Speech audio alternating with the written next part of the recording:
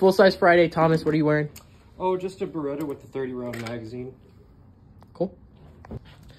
Max, what are you carrying? Got the Glock 34 with the Surefire X300. Sean, what are you what are you carrying today? Uh, Sig M17.